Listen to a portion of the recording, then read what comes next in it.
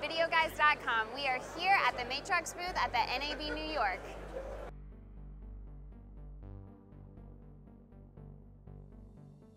Hello, my name is Bassel Challah. I'm in uh, sales uh, for the Matrox video products.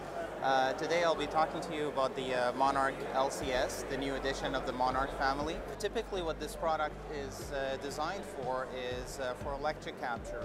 So it allows you to bring in either two HDMI signals or one HDMI, one SDI, compile it in a side-by-side -side or picture-in-picture -picture sort of production or allow you to uh, encode each video signal simultaneously, independent uh, from one another. The key thing here is uh, that the two signals are locked uh, as far as audio is concerned.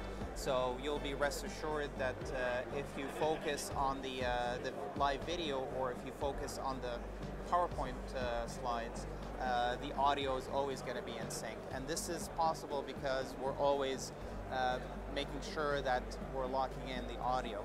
Now, uh, we have a lot of these products installed in a lot of um, universities and uh, colleges.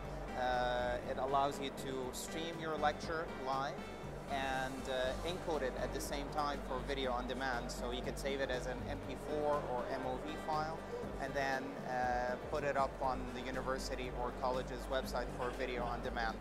Uh, the product is a shipping product. It's available through uh, Video Guys and it's selling for $24.95.